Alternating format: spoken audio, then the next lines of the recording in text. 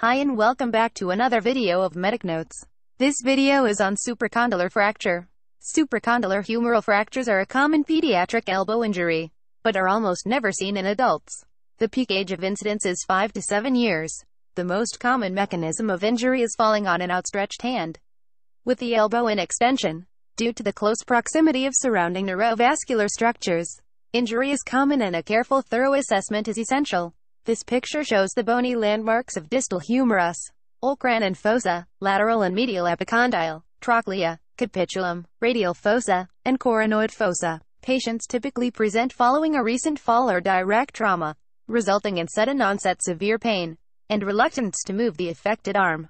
On examination, there may be signs of gross deformity, swelling, limited range of elbow movement, and ecchymosis of the anterior cubital fossa, it is essential to carefully examine the median nerve, the anterior interosseous nerve, the radial nerve, and the ulnar nerve. Check the hand for features of vascular compromise, such as a cool temperature, pallor, delayed capillary refill time, or absent pulses. Urgent orthopedic review is required for all supracondylar fractures, especially those with neurovascular compromise or evidence of an open fracture.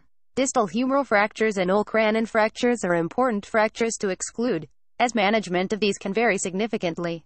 Other differentials include soft tissue injury or subluxation of the radial head. The mainstay of investigation for suspected supracondylar fractures is via plain film radiographs. In both antero-posterior and lateral views of the elbow, subtle signs on plain film radiograph for a supracondylar fracture include posterior fat pad sign, and displacement of the anterior humeral line. CT imaging may be useful for comminuted fractures or where intra-articular extension is suspected, which aids with surgical planning. This is a plain film radiograph of a supracondylar fracture in lateral view. The Gartland classification system of supracondylar fractures is a system commonly used in clinical practice. Also aiding in management planning. Type 1, undisplaced. Type 2, displaced with an intact posterior cortex. Type 3, displaced in two or three planes. And Type 4, displaced with complete periosteal disruption. Patients with supracondylar fractures with associated neurovascular compromise on presentation need immediate closed reduction. The reduction is then secured with K-wire fixation, which can be removed in clinic after 3 to 4 weeks. Conservative management can be trialed with type 1 fractures or minimally displaced type 2 fractures, which can be managed in an above elbow cast in 90 degrees flexion.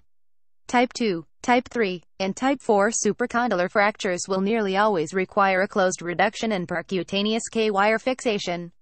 Open fractures warrant open reduction with percutaneous pinning. Any cases which fail closed reduction will also require open intervention. Any ongoing vascular compromise, despite adequate reduction, may need discussion with vascular surgeons for potential vascular exploration. This picture shows K-wire fixation of a supracondylar fracture. Nerve palsies are common with supracondylar fractures. The anterior interosseous nerve is most commonly affected by the initial injury.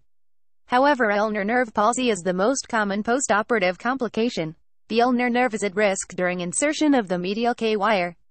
Malunion is an important complication to assess for following a supracondylar fracture. In some cases, patients may even develop a cubitus varus deformity, often termed gunstock deformity. A Volkmann's contracture can occur following vascular compromise with a supracondylar fracture. Ischemia and subsequent necrosis of the flexor muscles of the forearm eventually begins to fibrose and form a contracture. This results in the wrist and hand to be held in permanent flexion as a claw-like deformity. That's all for this video. Thank you.